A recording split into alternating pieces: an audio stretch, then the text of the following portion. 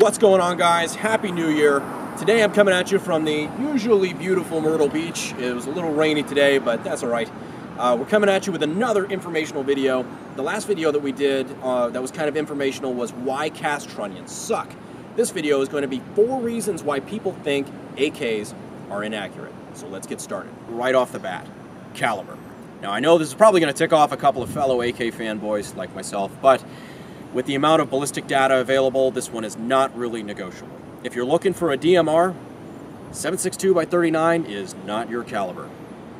Now here's not to say that you can't get semi-accurate hits with an AK in 7.62 by 39 out to as far as, you know, 500 yards, 600 if you're really stretching it. But the problem is it suffers from a lot of 300 blackout syndrome, whereas it drops like a fucking rock after 400 yards. Now this is not to imply that 7.62 by 39 is a bad caliber. I love the caliber, have always loved the caliber. Uh, it's great, delivers a lot of energy, and it's very cheap. However, if you're going for accuracy, there are so many better calibers in the AK, even AK native calibers, such as the 5.45 by 39. The flat shooting trajectory of the 5.45 is pretty much on par with the 5.56, making it a much better representation of what the platform is actually capable of, even still with an intermediate cartridge. Now pushing that point even farther, there are some bigger caliber options available still on the AK platform, like the Saiga 308s or even the Veprs in 308 or 7.62x54R that can push that even farther. And 7.62x54R isn't exactly a caliber that was designed for ballistic coefficient, but you can still really stretch that out surprisingly accurately, which really busts that myth out of the water right off the bat that the AK platform can't hit the broadside of a barn. But we're going to talk about a couple of reasons as why that stereotype, or even I would go as far as saying urban legend, exists.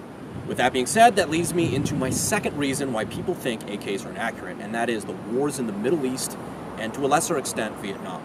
Now you have to remember, before the wars in the Middle East, people in the United States did not exactly have a lot of hands-on experience with the AK platform. You know, you're just starting to see a lot of the Chinese imports and stuff like that. The MAK-90 started getting into the country, but even especially like back in Vietnam era, uh, AKs really were not a thing. You know, the the popularization of the AK has been fairly recent. So when you have a bunch of troops deploying into Iraq and Afghanistan, a lot of them were having their first ever experiences with the AK platform. And that's where you're starting to have a couple of these things that popped up. So in Vietnam, you started getting some of the stories about the rugged reliability of the AK-47, which is attributed largely to the fact that it was just a great alternative to the piece of shit early gen M16s. Now, the Desert Storm era, or the first, you know, Operation Iraqi Freedom, that's where you start hearing a lot of stories about how shitty the AKs were with accuracy. So there's kind of two reasons why this came about. First of all, you're talking about some super burned out barrels. A lot of these AKs had floated in from all over the world. Uh, you know, the Soviet invasion of, of Afghanistan in the 1970s, these AKs had been through the ringer. And so you're talking about barrels that have had tens and tens and tens of thousands of rounds through them without ever having a barrel change or really much maintenance at all. So you have a lot of really burned out barrels that are being compared to nice fresh rifles, and people are wondering why they're holding 10 MOA. The second reason being everybody that the US troops had come up against using AKs at this point had been relatively untrained. So it's not hard to get the assumption that your enemy's weapons aren't that accurate when they're trying to engage you in the Afghani shitter position. Now, with that being said, it's really not terribly hard to understand where this whole misconception that the AKs couldn't hit the broadside of a barn came from it started to become ingrained in the consciousness of people who are weapon savvy or ex-military guys that the legendary reliability of the AK platform came at the expense of accuracy, which leads me to point number three. Now, reason number three is lack of knowledge about how the AK platform actually operates. Now, it almost ties in perfectly with that misconception that the rugged reliability of the AK came at the expense of the accuracy. People started to invent reasons why that was possible or why that was happening. And one of the things that they said is that the, the reliability comes from the loose tolerances of the AK platform, which is partially true. And they said those loose tolerances are the same reason why it's not accurate. And that is bullshit. You could see, and some of the best videos on the internet for this are Larry Vickers videos uh, on the super slow motion AKs. The guy has just brilliant camera equipment. It's amazing. And uh, it, it shows the operation of the AK at a level that is really hard to conceptualize any other way than the equipment that he uses. You can see that when that bolt carrier is reciprocating and all the, the stamped uh, receiver is just flexing and everything's flexing in the rear of the gun. Uh, it's not hard to see why people might think that that would contribute to a lack of accuracy. But here's what the average gun guy, I would probably say, doesn't understand about accuracy, is that none of that shit behind the bolt lockup matters. Seriously, you could cut the damn receiver in half and just let the whole bolt and bolt carrier fly out of the back of the damn gun. It's not going to affect your accuracy at all because the accuracy is bolt lockup forward. Okay? Nothing that is not directly attached to the bolt or the barrel is going to affect your accuracy because that bullet is already left. And it, it's, it's entirely in the lockup. As long as you have tight headspace, none of that behind there matters. And that's why, uh, for example, part of the, the, the claims that milled receiver AKs are way more accurate, which the jury's kind of out on that, but it is vastly exaggerated. What it mostly comes down to on the AK platform is barrel harmonics, tight head spacing, and a good barrel and a good crown and all that. As long as you have a nice tight lockup and those tolerances right there are good, it's not going to affect your reliability at all. In fact, it's probably going to aid in your reliability. And it does not, it, it, it makes the weapon perfectly functionally accurate.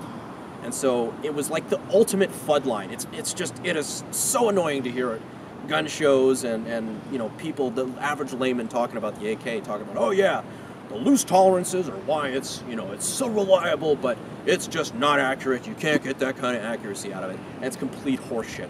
It, it anybody who can tell you anything about ballistics and how barrels actually work know that none of that back there actually matters. So I'm sorry to harp on this point so much, but it's just a little irritating because it is just it shows a lack of understanding. But it is a very, very popular view.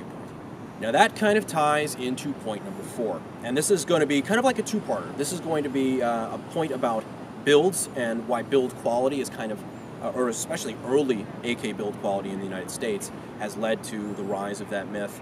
And uh, part two, basically all the stuff that you can do to make sure that the AK you're building is as accurate as possible. So let's go ahead and get started with the first part. So in the early days of AK building in the United States, and still a little bit today, there are some less than qualified builders that were using very poor headspace, uh, less than ideal quality barrels, uh, quality of barrel presses, uh, bent barrels, all sorts of just really nasty stuff that led to the first early AK kit builds not being of superb quality. Uh, in fact, there were even some cases like the infamous uh, Century Arms Tantals, where they weren't even using the right caliber barrels. They were using, it was an AK-74, and they were using 5.56 caliber barrels on a 5.45 bullet. They were just recutting the chamber for a 5.45, which is a no-no, and that's why they would keyhole like shit at 50 yards. And uh, I can't tell you how many barrel swaps I've had to do on Tantals. And so there's just all sorts of weird crap that people did to AKs because of that conception that they're just like AKs aren't accurate, so it doesn't matter. You know, nobody's using this for accuracy. And so that is why the inaccuracy of the AK platform is almost entirely a self-fulfilling prophecy. Because people treat it like just an AK, and accuracy won't matter. They feel like it's okay to take shortcuts, and that's why so many of the AKs that are floating out there will live up to the hype of having shit accuracy because people treat them like a gun that's supposed to have shit accuracy. And so it is very much a self-fulfilling prophecy and uh, you'll you'll definitely run into that a lot on a lot of older builds that were done by less qualified builders.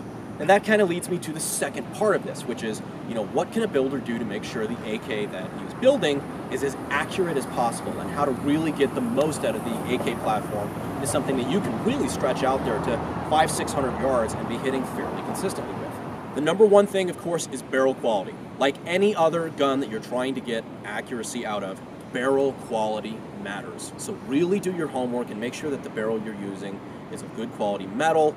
Uh, if you're looking for like a nitrided barrel versus a cold hammer forged barrel with a chrome lining, be sure to know the pros and cons of both and just use a, a barrel that's that's good. Odds are, if you're getting a barrel for $50 on the internet, it may not be the best for long range accuracy. So just kind of keep that in mind.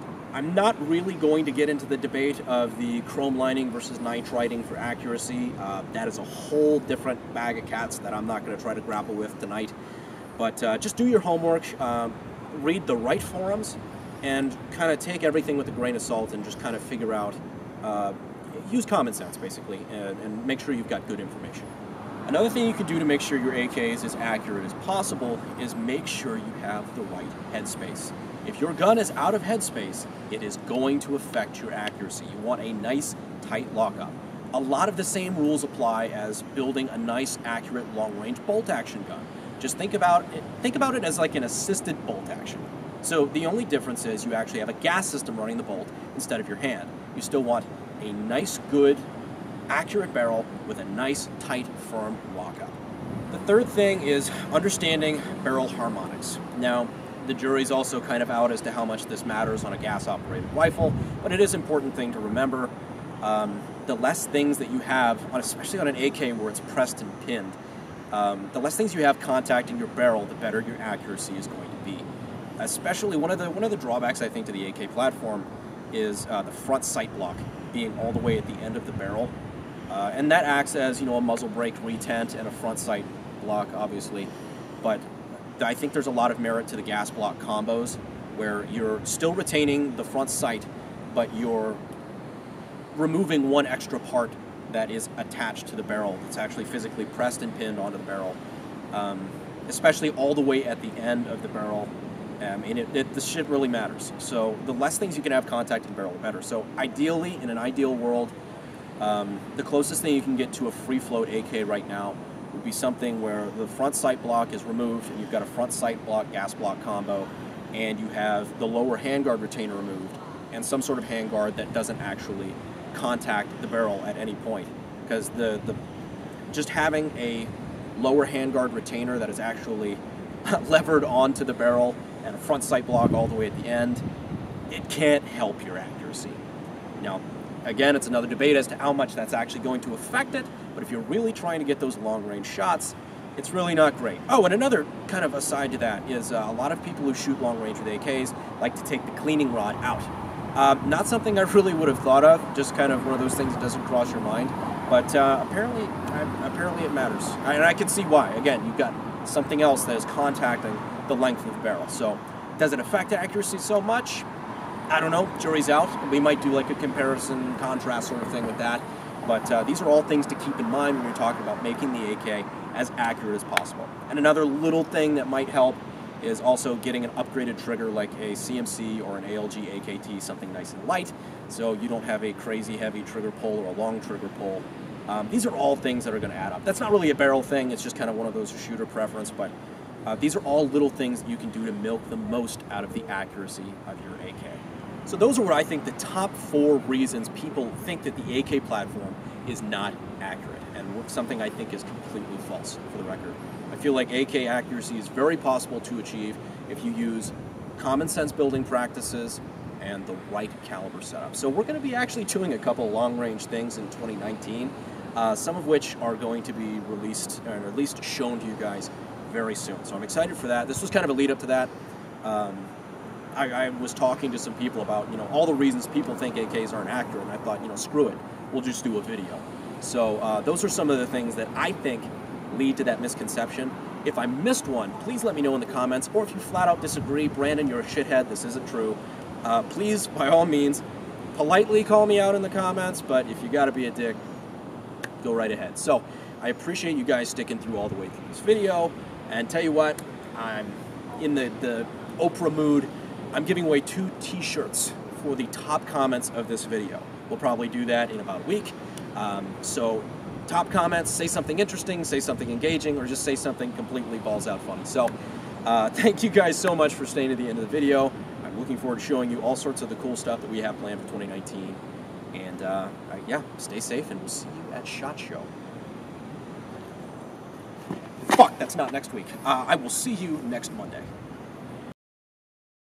The AK pop... I got this. The AK population? Yeah, that's nice. The Alaskan people did not have much experience with AKs. There's there's for your blooper reel there. I figured. People are starting to ask about the blooper reel. Why isn't the blooper reel there? Here you go, fuckers. Hey, is any sports bars open? Actually, I think the one at the very end is uh, the Bowery. Now, rule no- rule number three. Yeah, nope, not rule. Now, reason number three is the lack of That was clunky. I didn't like that. All right, try that one again. Uh, that whole thing was a clusterfuck. Can I just start over? Yeah, let's